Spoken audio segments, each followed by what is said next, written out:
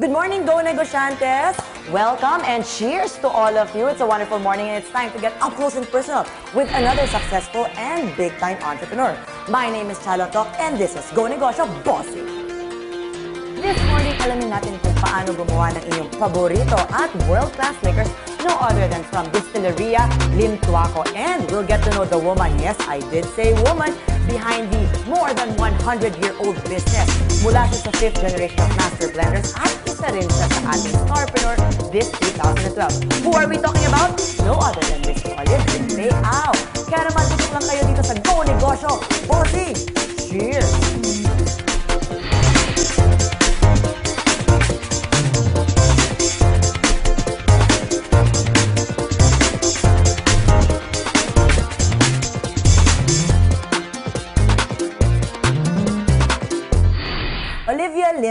Is also concurrently the president of Distilleria Limtuaco subsidiaries Archipelago Water Products International Incorporated, bottler of Rainforest Natural Mineral Water, and the CEO of Convoy Marketing Corporation, a full-service marketing and distribution company operating nationwide.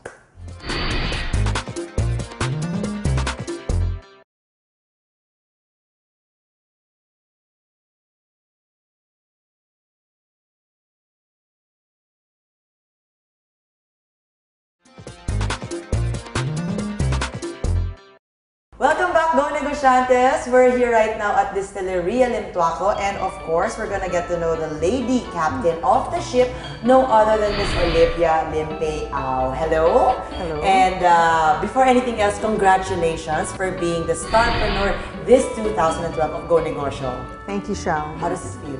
Siyempre, it's an honor to be chosen as one of the starpreneurs and uh, I'm very happy. Okay, and because of that, we want to get to know you even more. How was Olivia like? Were you already very entrepreneurial back then, nung high school or ano? Or ano ang hilig mo nun? Nung bata pa kami, my father would take us to the office, you know, we learned the ropes, you know, we'd be assigned different assignments. Naka-work na kami sa factory, naka-work na secretary, naka-work ng clerk, gano'n, no?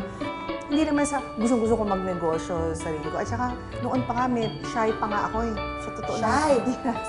Shy in what way? Okay, let's go back 10 years even behind that, okay? Let's say when you were a little girl.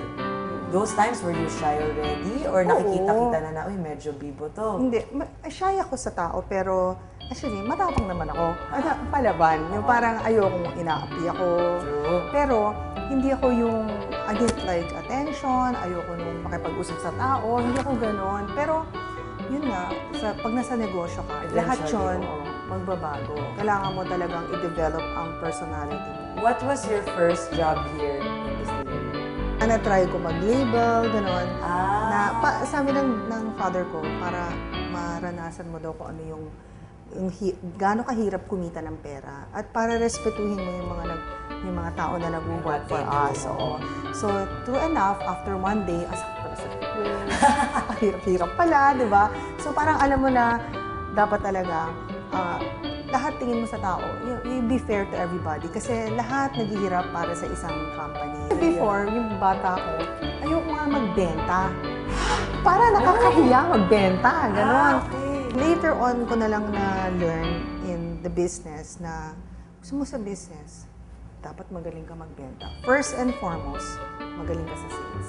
That's why now, mga anak ko, now that I realize how important sales is, ang una nilang training sa company namin, sales. Sales. Ah, that's what you're passing on. Yes. Being in also a Chinese family too, Mm-mm. you guys are all girls. Yes. Okay? How was it? Getting into the business, leading the company as a woman? Can you tell us more about that? Hindi ba merong mga ano yan, stereotypes? Oo, oo. Medyo mahirap talaga kasi lalo na ang business namin sa alak, di ba?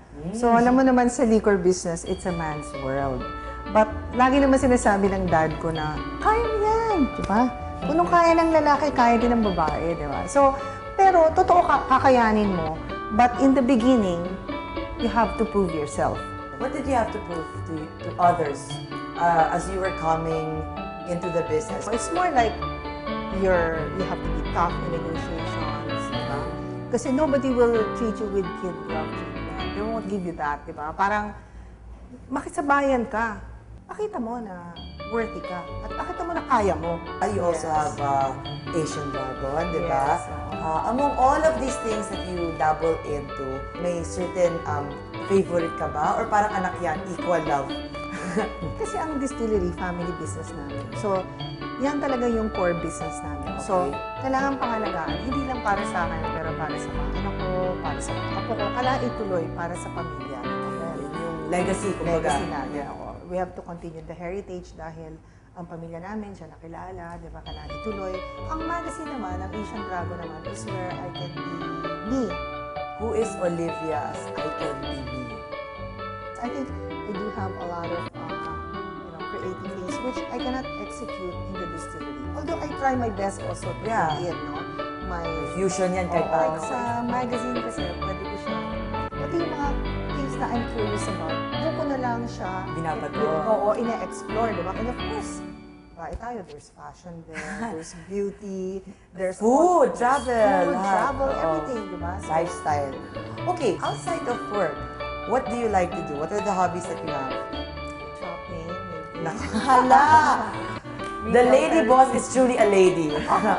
no, we watch movies with the kids, we go shopping, usual stuff. Pero I don't think really have that much time for myself eh. So you have three kids. How do you balance your time? Pag maliit pa sila, kailangan you have to have good health. Meron kang pagkakatiwalaan sa bahay. Kasi yan ang tatrabaho ka eh. You have to have people you trust. Otherwise, hindi. Tapos, meron kaming, meron kaming agreement sa family na pag weekend, pag may time ako, pag kailangan kami lalabas, they have to give up time with their friends to be with family. But if I'm busy, they can have time. Agreeable naman. Agreeable. What is the secret to everything?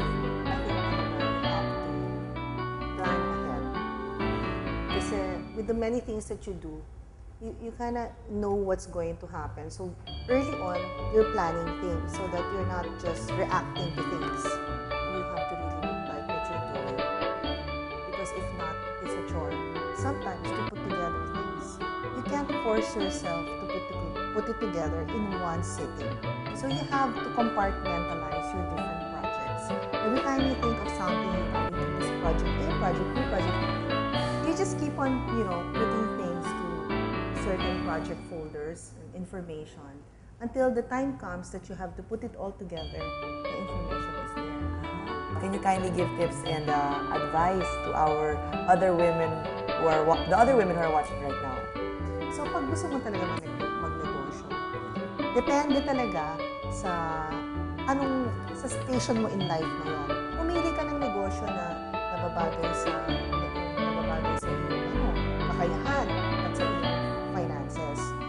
isipin yung gusto mo masyado malaki ka agad kung hindi naman kakayanin. So, dapat alam mo kung ano lang ang kaya mo. Doon ka mag-umpisa.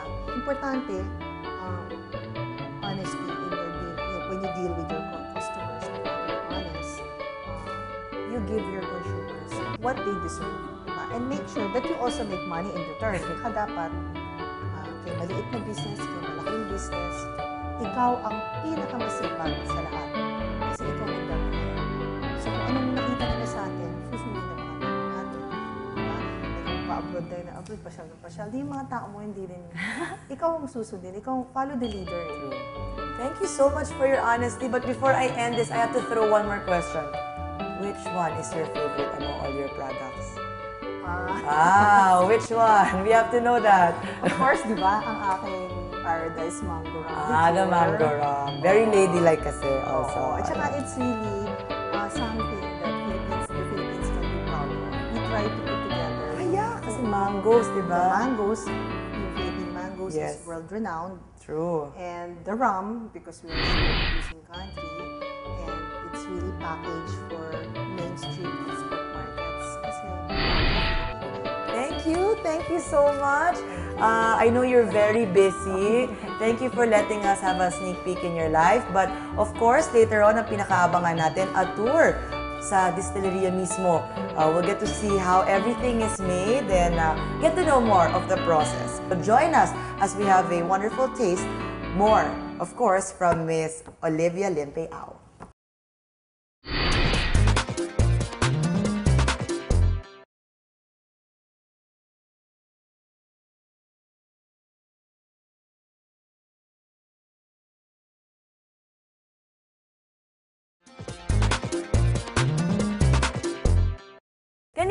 Nakilala natin si Miss Olivia Limpiao. Ngayon naman, bisitahin natin ang Distilleria Limpiao to get to know the history of this century-old business.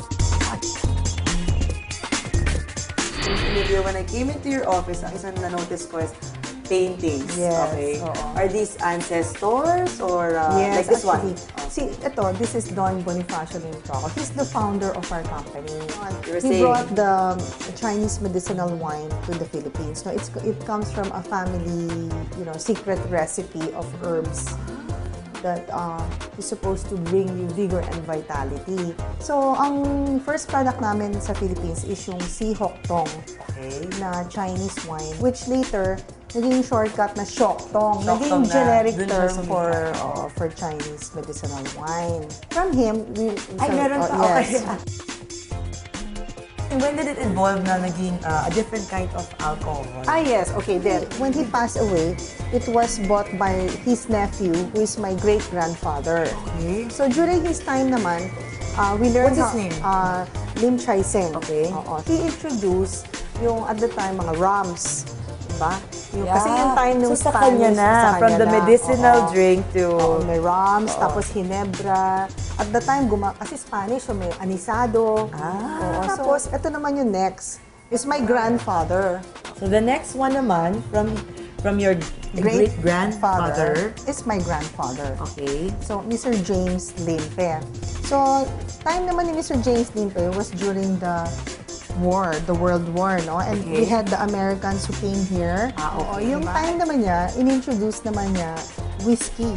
Kasi we, we learned how to make whiskey from the Americans. Oo, so the we had- making of the alcoholic drinks or the liquor came in kung ano yung era, ano yung Yes, nauso. oo. no? So, sa kanya rin yung vodka, yung Tosca vodka namin. Oh, okay. Oo, Which is it's- still very... It's still uh, saleable up to now. And then my father Ah, over okay. there.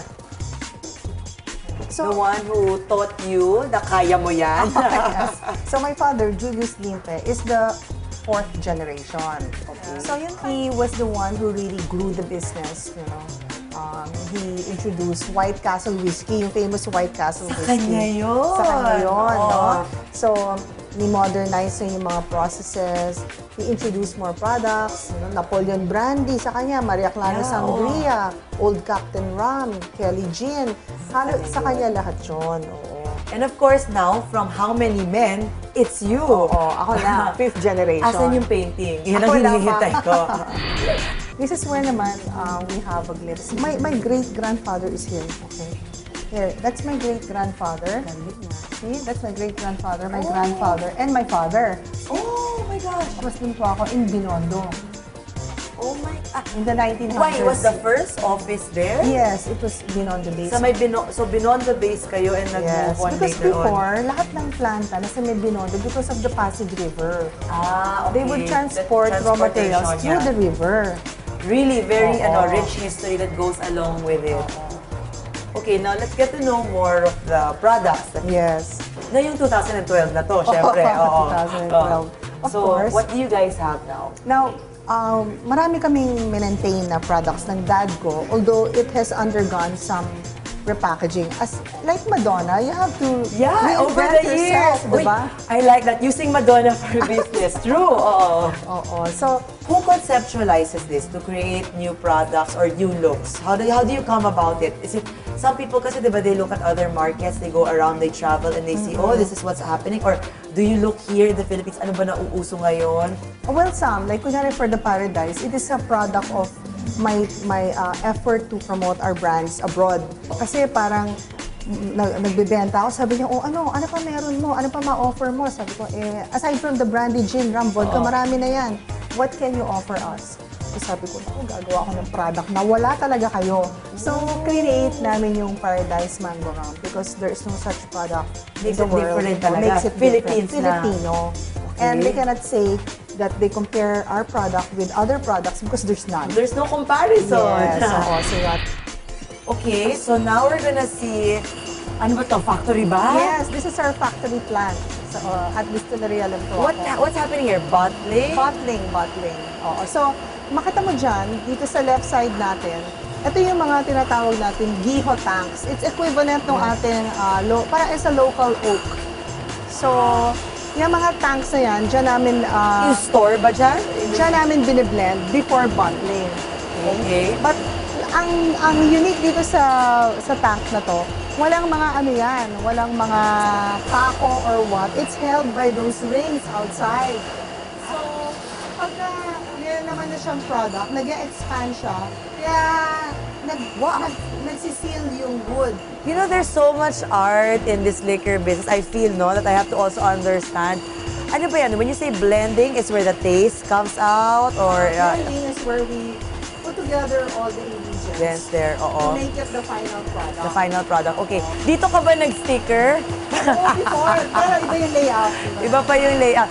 Ayun, what are the developments along the years? I'm sure machinery-wise, Oh, everything, yes. yeah. Improved the, the bottling, the layout of the plant, are many... Wait na, ang bango.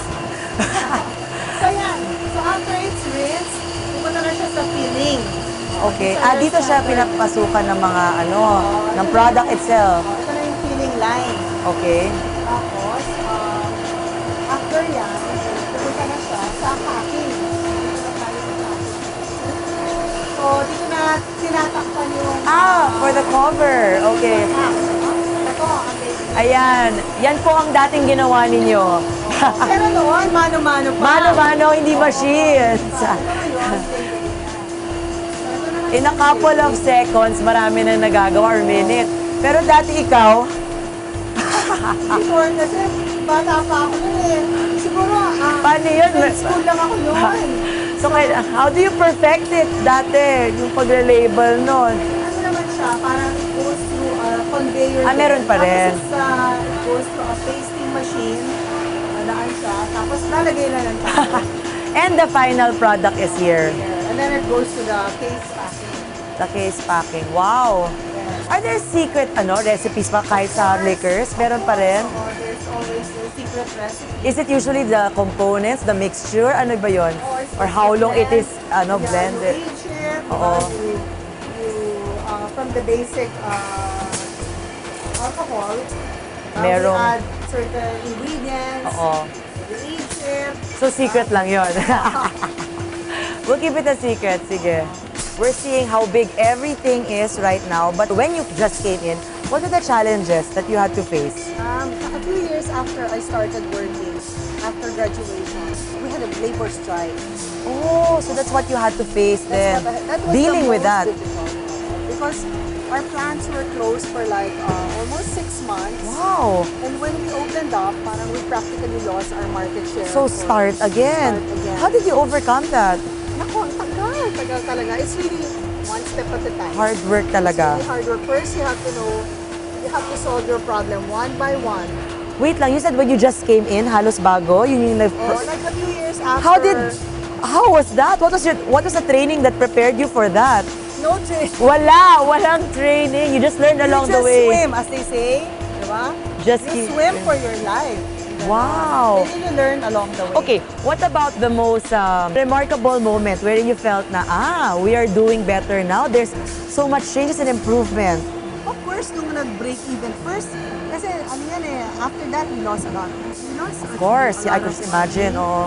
For me, when we, we broke even, was one of my diba, milestone. Parang, ah, milestone period. milestone period. Okay. And then when we got, when we uh, got my first, when I got my first big export uh, contract. it's Deal. My first export sale was to Taiwan.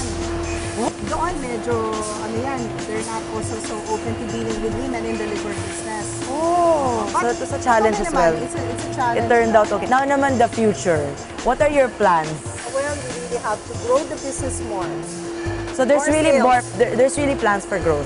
Yes, you have to really grow. You cannot stop growing. Cannot stop growing. Yeah, more products to come. really? We can Yes, expect more? Yes. Okay, oo. it doesn't stop in other words. Yes, and more markets to uh, To go talaga. go. Yeah, especially for abroad. Exporting ang growth. Everything's well planned out. of course, I promised the viewers that they're gonna get to see more. Kaya naman standby lang sa pagbabalik ng Go Negosyo Bossing!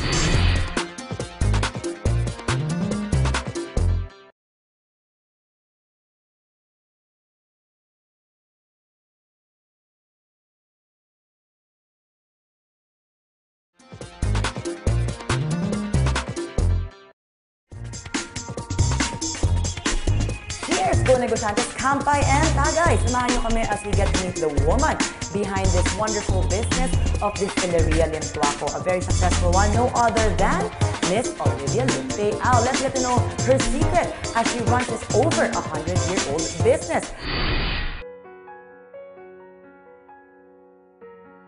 Si Ma'am Ola ay pinapaka-cool na boss ah, kasi parang hindi siya marunong magalit. I would say na matapang siya kasi since president siya ng uh, Distilled Spirits Association, siya lang pa yung tanging babae na na na boss na, humaha, na humaharap nag-aasikaso against the big countries like EU and US. Ang Olive is a very strict boss but very kind. Um, lalo na pagdating sa work, um, she make sure na na alam mo dapat yung ginagawa mo and then Um, Olive is a tough person, especially when it comes with competitors. as an employee niya, marami ako natutunan sa kanya eh. Lalo na yung how to value your time. Na whatever na you can do today, hindi mo na dapat ipagpabukas pa. And then yung pagiging honest, lalo na sa mga business associates, sa mga customers, lalo na sa export buyers. Kasi usually sa export business, you really have to be transparent and very uh, polite sa kanila, honest in dealing. And most especially, kailangan talaga service-oriented ka. A fighter siya. Very thoughtful din siya. Pagka yung may mga occasion, naalala ka niya, ganun. as a mother, uh, loving, caring, gano'n, um, provides well for us. Uh, may times she's also medyo, you know, yung typical mother na parang nagbe-bridge ng generation gaps, yung mga gano'n. Mom is also my boss. And even pag nasa bahay na, boss pa rin siya. Ganun. Working, she's very strict. May system na siya which she's formed for the years that she's been working. And um, I'd like to think naging receptive naman kami doon. I'd like to think na yung mom ko is sa mga um, big factors ng personality ko. So parang, if not for her, hindi ako magiging like I am, you know. Uh, yung mom ko, la- lagi siya nagtatry mag-diet talaga. As in, um, mapili siya sa food. But then, uh, most of the time pag nag-diet siya, uh, like, one sa office kami, may times na yung feet niya nilalamig. And yun yung indication niya na nagugutom na siya. So, yung favorite snack food niya pag ganun, chocolates. Go Negociantes, salamat sa pagsama niyo sa amin ngayong umaga. Sana po ay nalasing kayo pero with inspiration. Sana ay marami kayong napulot ng mga success tips para naman you can have your own taste of success that will last a lifetime tulad na lang ng Distilleria Limpa. Once again, my name is Chalon Talk. See you next week dito lang sa Go Negosyo Bossing! Kampay!